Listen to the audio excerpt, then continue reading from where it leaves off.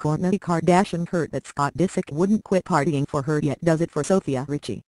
Kourtney Kardashian, 38, is not happy about her ex Scott Disick, 34, quitting his partying ways for Sofia Richie, 19, after he didn't do the same for her.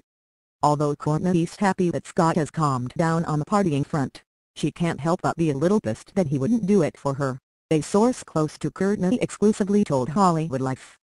Com. It's really hurtful that all the time they were together he carried on with his hard partying, despite the fact that they had three kids together but, as soon as he starts dating Sofia he suddenly changes. Kourtney can't help but wonder why he would do it for Sofia, but not for her.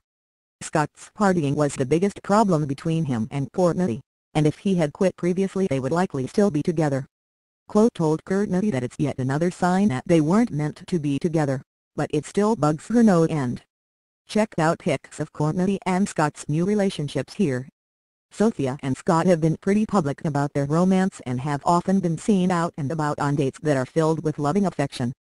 Their relationship has definitely seemed to tame Scott's wild ways and he hasn't been seen clubbing or having fun with other women since they've happily been seeing each other. Kourtney's been having a great time in her own new relationship with Young's Younes Bendjima, 24, and the two have also been seen getting close in their own time. Although we can understand why Kourtney would be upset about Scott's actions, we're glad to know she found love again and can move on. HollywoodLifers what do you think about Kourtney's feelings about Scott's partying? Tell us here.